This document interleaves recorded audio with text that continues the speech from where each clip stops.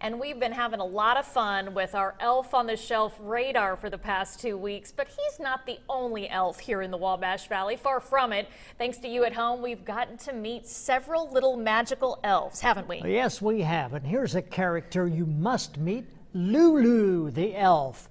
Danessa watches over Lulu and watches News 10 first at 5 in Linton, Indiana. All I can say is I think she has her hands full with that elf. So good luck, Yeah. Danessa. Oh, cute. He's on the sled right there. Yeah. And keep your elf picks coming. What is he? You know, jar He's there? in a jar. Oh, and we're placing all those pictures we receive in a special photo gallery in our website over at WTHITV.com. So just use the popular report it feature. And